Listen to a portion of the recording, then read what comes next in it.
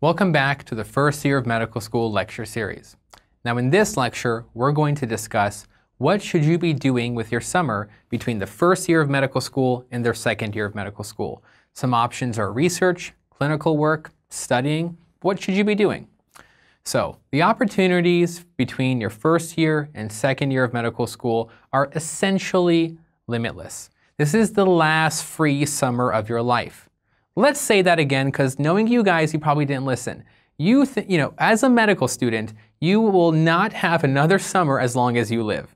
Between the first year and second year of medical school, you have a summer. After the second year of medical school, you'll take step one and you'll go right into the clinical years. And after that, it's hospital rotations until retirement. So use this last summer of your life intelligently and let's be strategic. So choosing what to do during your summer, though, is completely up to you. Given that it is your last summer you'll have, there is no right thing or wrong thing to do. So you should really, though, try to get the most out of your summer. So how do you plan for it?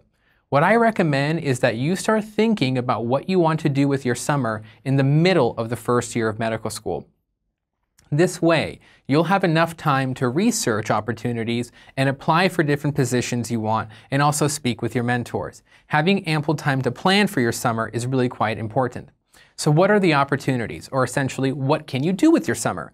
Number one, you could do research. Some students will, you know, kind of seek out research laboratories during their you know, middle or end of the first year of medical school. They'll apply to a lab, and research opportunities that are usually done during the summer can be funded where they pay you to do it, or more likely, they're usually volunteer, uh, where you volunteer your time to try to get publications.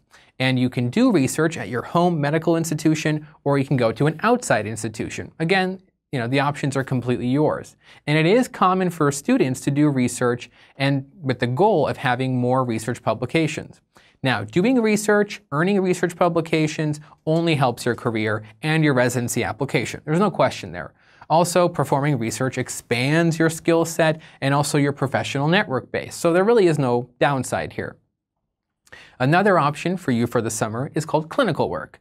Now, some students will want to go work in a clinical setting abroad or locally, and the opportunities here are also endless. Many students find opportunities through their medical school or just find something online.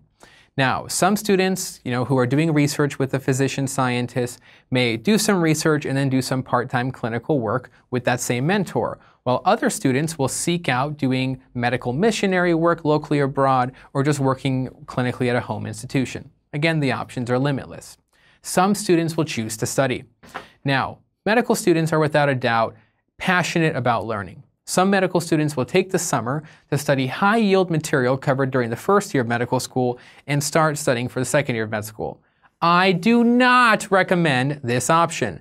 Studying during your second year of medical school should be during your second year of medical school. Don't do it now. There is ample time during your second year of medical school to study, the material for, during your second year, review the material from the first year of medical school, and prepare for USMLE exam. Don't ruin your summer by studying unnecessarily. So that's a personal recommendation. I say don't study. You're more likely going to hurt yourself than help yourself. You can be tremendously much more efficient with your time. And the last option is nothing.